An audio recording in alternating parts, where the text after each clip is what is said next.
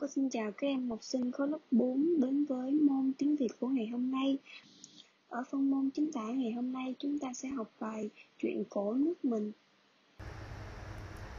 Các em vừa nhìn trên màn hình và vừa chú ý nghe cô đọc qua một lần bài này nhé. Tôi yêu truyện cổ nước tôi, vừa nhân hậu lại tuyệt vời sâu xa. Thương người rồi mới thương ta, yêu nhau dù mấy, cách xa cũng tìm ở hiền thì lại gặp hiền, người ngay thì được, phật tiên độ trì. Mang theo chuyện cổ tôi đi, nghe trong cuộc sống thầm thì tiếng xưa. Vàng cơn nắng, trắng cơn mưa, con sông chảy có rặng dừa nghiêng soi. Đời cha ông với đời tôi, như con sông với chân trời đã xa. Chỉ còn chuyện cổ thiết tha cho tôi nhận mặt ông cha của mình theo Lâm Thị Mỹ Dạ. Vậy, à, qua câu chuyện cổ này, cha ông thường muốn khuyên con cháu chúng ta điều gì? À, đó là cha ông muốn khuyên chúng ta, khuyên con cháu hãy biết thương yêu, giúp đỡ lẫn nhau, ở hiền thì sẽ gặp nhiều điều may mắn. Chúng ta vừa tìm hiểu nội dung của đoạn chính tả và bây giờ cô sẽ hướng dẫn các em viết từ khó. Trong từ à, truyện cổ, chúng ta cần lưu ý âm trờ và vần uyên trong tiếng truyện. Trong từ tuyệt vời, các em cần lưu ý vần uyết trong tiếng tuyệt. Và trong từ sâu xa, các em cần lưu ý à, âm sờ trong tiếng sâu. Vậy trong từ rặng dừa, Các em cần lưu ý âm, R và vần ăn trong tiếng rặng. Trong từ nghiêng soi,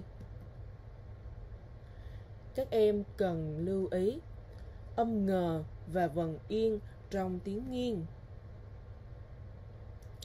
Và các em cần chú ý thêm, chúng ta phải viết ngờ ghép vì sau nó là nguyên âm đôi ie còn trong từ thiết tha, các em cần lưu ý vần ít trong tiếng thiết.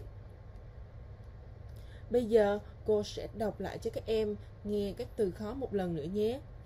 À, chúng ta có truyện cổ, tuyệt vời, sâu xa, rặng dừa, nghiêng soi, thiết tha.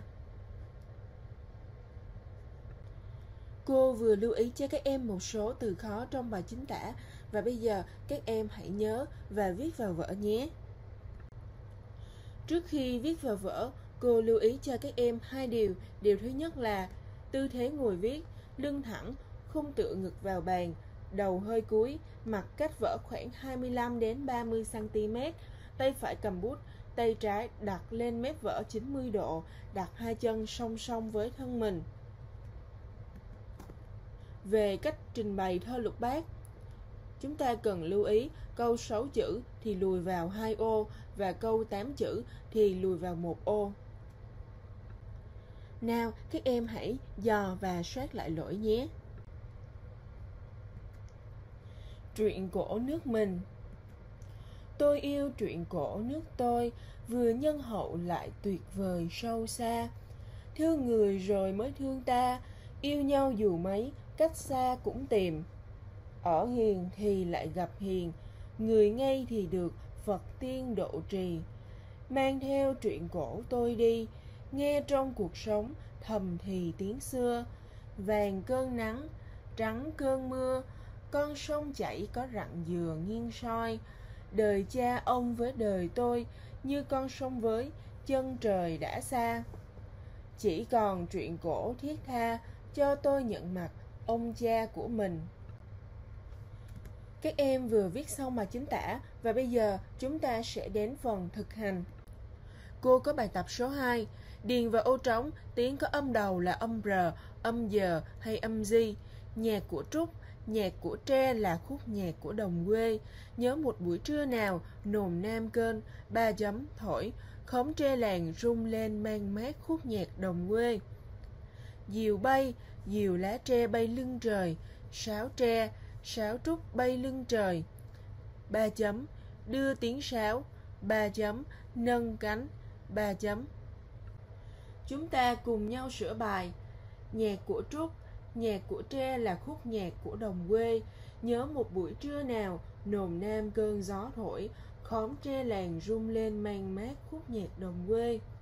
Diều bay, diều lá tre bay lưng trời, sáo tre, sáo trúc bay lưng trời, gió đưa tiếng sáo, gió nâng cánh nhiều thép mới.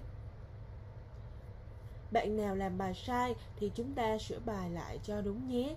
Các em cần lưu ý quy tắc khi chúng ta viết âm R, âm giờ và âm di. Chữ R và di không đứng đầu những tiếng có vần uh, âm đệm là vần oa, vần oe, vần uê và vần uy. Và do đó khi gặp các tiếng ở dạng này thì chúng ta sẽ chọn âm giờ để mà viết và không chọn uh, r hoặc là gì